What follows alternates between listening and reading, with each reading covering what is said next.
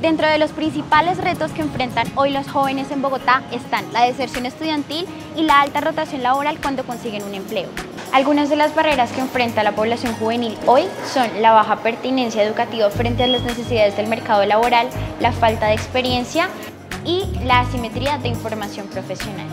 Por otro lado, según datos de GOE en Bogotá, se calcula que hay más de 581 mil jóvenes con potencial en la ciudad.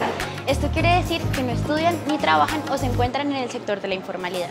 Para abordar estos desafíos, en Pro Bogotá arrancamos esta semana con el piloto de Semana Empresarial, un ejercicio donde más de 120 estudiantes de último grado de colegio tienen la oportunidad de afinar su orientación vocacional mediante pasantías de una semana en empresas de diversos sectores.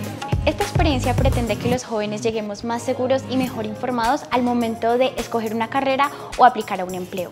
Además, contamos con una herramienta tecnológica que mediante la inteligencia artificial optimiza los procesos de información sobre la oferta educativa y de empleo de la ciudad que tengan relación con nuestros proyectos de vida. Cuéntanos, ¿qué otras barreras crees que tienen los jóvenes hoy para acceder a un empleo de calidad?